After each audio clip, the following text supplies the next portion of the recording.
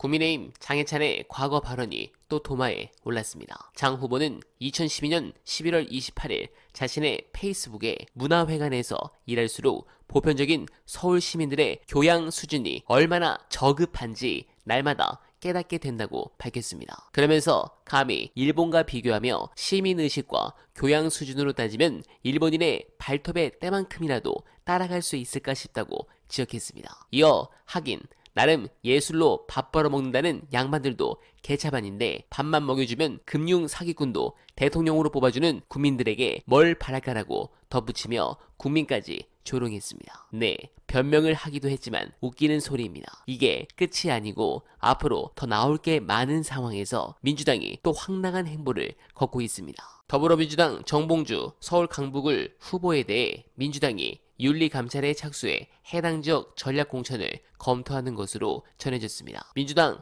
전략공천관리위원장을 맡고 있는 안규백 의원은 14일 BBS 라디오와의 인터뷰에서 당대표 지시로 윤리감찰단이 조사에 착수했으니 조금 지켜보면 금년간 결론이 나오지 않을까 생각한다고 말했습니다. 그러면서도 모든 판단의 시작과 기준은 총선 승리에 있다며 제3의 인물이 가는 게 원칙인데 여러 가지 정무적 판단을 고려해야 한다고 답했습니다. 느낌상 굉장히 흐름이 좋지 않습니다. 물론 어제 이 대표께서 방어를 해주셨지만 민주당 당내 수박들이 흔드는 것 같습니다. 일단 봉도사나 국힘이나 잘못된 발언을 한 건 비난을 받아 마땅합니다. 다만 차이점은 봉도사는 말 실수한 그 시점에 사과를 했고 반복되지 않았다는 점이고 국힘 후보들은 잘못된 발언을 반복적으로 했고 후보가 된 지금 시점에야 걸리니까 마지못해 사과를 하고 있다는 점입니다. 즉 사과의 진정성에 차이가 있습니다. 같은 선상에서 비교하면 안 됩니다. 저는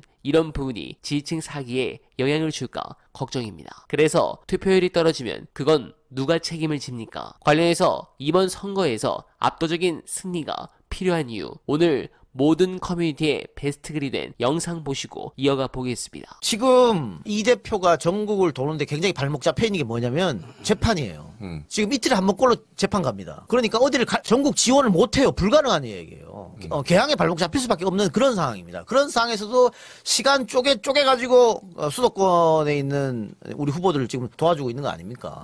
이, 이게 끝이 아니라는 게 선거에서 압승했다고 하더라도 또 재판 결과를 기다려야 됩니다. 언제 검찰의 칼날이 목을 베를 줄 몰라요. 그래서 이번 승리가 이, 이재명 대표는 어, 전체 151석 하면 우리가 이긴다. 목표가 그거라고 얘기했지만 그걸 뛰어넘어서 압도적으로 어, 민주당의 승리를 안겨줘야지만 어, 이재명 위기가 끝이 나는 겁니다. 음. 그렇지 않으면 언제 또 법의 아- 아가리로 들어갈 수가 있어요. 그리고 이번 공천은 이재명의 공천이지. 음. 이제 여기서 어, 당선된 사람들이 또 이제 정말로 뭐 이- 이재명 대표를 지지할 수도 있고 그런 건데 어, 이- 이거 중요한 거는 나중에 이제 이재명이 혹시 뭐 대통령이 된다면은 이 의석 가지고 집권 1년 차를 맞는 거거든요. 음. 그래 중요하잖아요. 개혁은 언제 하는 겁니까? 집권 1년 차 때 하는 거예요. 김영삼처럼 집권 1년차 때 개혁을 해야 됩니다. 문재인 정권 가슴 아픈 거는 언론 개혁, 검찰 개혁을 다 집권 1년차 때 못했다는 거예요. 뒤에 가니까 다 흐지부지 되죠. 180개 있는 것 중에서 언론 출신, 언론 개혁 하는 거 반대, 검찰 출신, 검찰 개혁 반대, 아무것도 안 된 거잖아요. 그래서 가장 힘 있는 1년차 때 해야 되는데, 만일 정말로, 어? 이재명한테 170개, 80개 의석이 있다고 생각해 봅시다. 민주당이.